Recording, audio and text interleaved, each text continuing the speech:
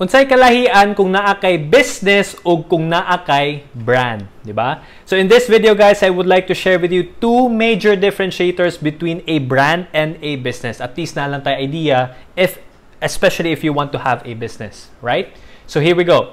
The first thing is that when you have a business na kay ginatawag na sistema ug naa po kay ginatawag na product and or service.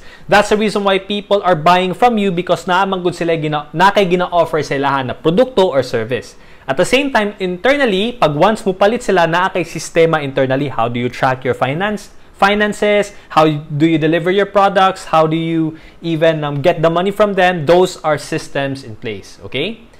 Ang branding manggod is halo to siya sa system, naapod siya product and or service, at the same time, naa siya pangalan, naa siya name, naa siya reputation sa marketplace. Diba? And because of the power of brand, you can charge more and then people would want to be associated with you. What do I mean by this? Buta na to. Nike, diba? Nike, they sell shoes. And they there are a lot of businesses out there nagabaligya og mga sapatos. At tukag mall makita nimo usahay sa kilid-kilid na apoy kay makita ng mga sapatos. Pero ngano lahi ang imong sentiment lahi imong feeling the moment na naay brand na Nike.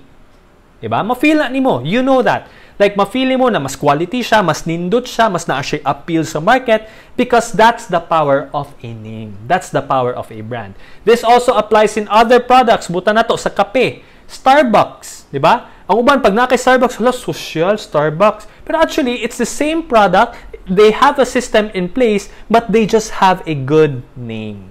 Okay, na sila, when I say good name, guys, sila na nindot na pangalan, kana nindot ang ilang pag-establish sa marketplace. Before we proceed sa number two, I would like to invite you guys, no, to in relation to this topic, this coming July 18, that's a Saturday, from 7 p.m. to 9 p.m. PHT, I will be conducting an online workshop. This is not a seminar via Zoom. And it will be about how to get your first 10,000 Facebook followers. So, ikaw tong tipong tao, nag-market ka sa Facebook, nag uh, you want to create your personal brand, or you want to build a brand on Facebook, then this webinar or this online workshop is definitely for you. All right? So for this is 499 pesos and once again, this is only limited to 100 people. Alright? So, pag once ma-fill na to siya, dili na may makakater o uh, more people. So, the link, the registration link is in the description. And uh, number two, kasi go back to sa video, is that a business na siya customer, ang brand na siya advocates. Okay? So, medyo social siya paminawon. Pero inani siya. When you say customer man good, sometimes naa siya, sometimes wala. Alright? Pag na-feel niya na, okay, sa karon nindot ka, pero eventually, uh, mubalhin siya sa lain because mas nindot siguro dito or something like that. Ana lang ang dagan sa customer. Okay?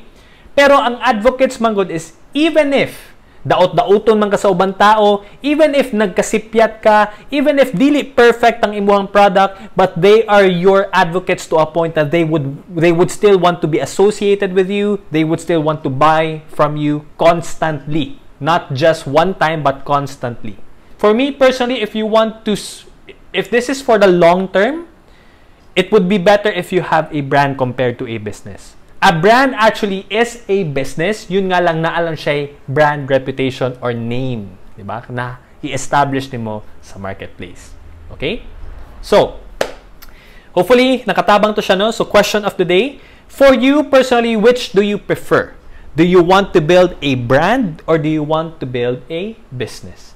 Let us know in the comment section.